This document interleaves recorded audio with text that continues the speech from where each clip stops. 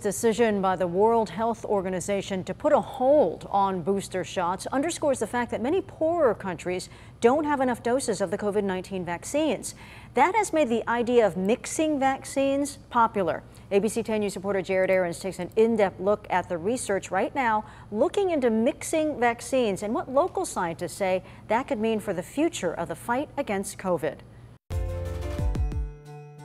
Here in the US, it's pretty simple. You get one shot of Johnson & Johnson or two of Moderna or Pfizer. But researchers around the world have found that combining vaccines may give people better protection against COVID it is a very interesting and promising idea. Dr. Alessandro Sette at the La Jolla Institute for Immunology says mixing vaccines may be the best way to help countries facing a shortage of shots. The rationale is that the different vaccine platforms may uh, stimulate the immune system in a slightly different fashion. He calls it the prime boost strategy, and it's based on the fact that different vaccines work in different ways. Viral vector vaccines like AstraZeneca and Johnson & Johnson introduce a harmless portion of the virus into our body.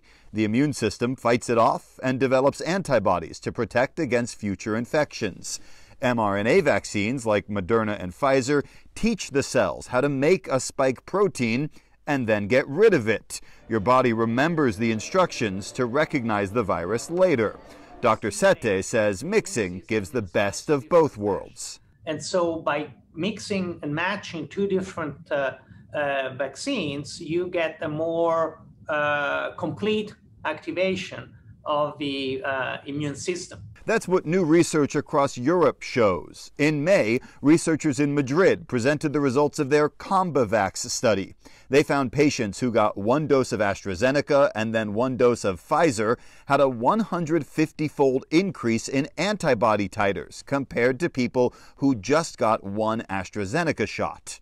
The COMCOV study at the University of Oxford compared four combinations of vaccines two AstraZeneca shots, two Pfizer, one of each with AstraZeneca first, and one of each with Pfizer first. Their study found both mixed vaccines gave a better immune response than AstraZeneca alone, and that getting the AstraZeneca vaccine first produced higher antibodies and T cells than getting Pfizer first. And a third study from Berlin followed 340 healthcare workers from December through May, giving them one dose of the AstraZeneca vaccine and one dose of Pfizer. It found that mix, with 12 weeks between shots, gave higher immune responses than traditional two dose vaccines given three weeks apart.